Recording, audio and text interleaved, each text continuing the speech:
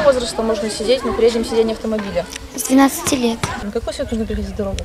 Зеленый. Зеленый. Где нужно переходить дорогу? Месте каком? На пешеходном переходе. Отвечая на вопросы викторины, посвященные правилам дорожного движения, воспитанники санатория «Елочка» демонстрировали полную осведомленность. Беседа начальника ГАИ Брестского РОВД Александра Каспирука с участниками конкурса детского рисунка о правильном поведении на дороге – вводная часть мероприятия, после которой состоялась церемония награждения победителей творческого состязания. Все это делается с той целью, чтобы перед началом учебного года напомнить жителям Прибужья о необходимости соблюдения правил дорожного движения, о том, чтобы когда они пойдут в школу, это у них отложилось в памяти, и они неукоснительно соблюдали правила дорожного движения. Близняшки Виктория и Маргарита Полулех – самые активные участницы конкурса.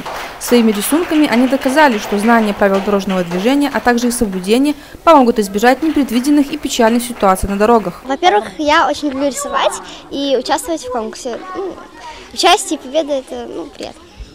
Я хотела, чтобы люди, посмотрев на эти рисунки, еще больше захотели соблюдать правила дорожного движения, носили фликера и э, останавливались, когда видят красный свет. Ну и вообще, когда дарят подарки, это тоже очень приятно. Гвоздем художественного соревнования стал рисунок на асфальте, где яркая надпись цветными мелками «Мы за правила дорожного движения» демонстрирует серьезное отношение детей к безопасному поведению на дорогах о важности которого они говорят сознанием дела. Если не соблюдать правила дорожного движения, то если дети не будут соблюдать правила дорожного движения, то они могут попасть в аварию или еще куда-нибудь. Соблюдать дорожный, ну, правила дорожного движения важно, чтобы, ну, в первый случай это сохранить себе здоровье, потому что, не дай бог, еще там собьет машину или еще что-нибудь. То, что даже если, например... Избежать аварий. Да. В жизни много правил, но здоровье, оно превыше всего, и мы должны ну, ценить свою жизнь, смотреть за собой соблюдать правила. Соб... Конечно.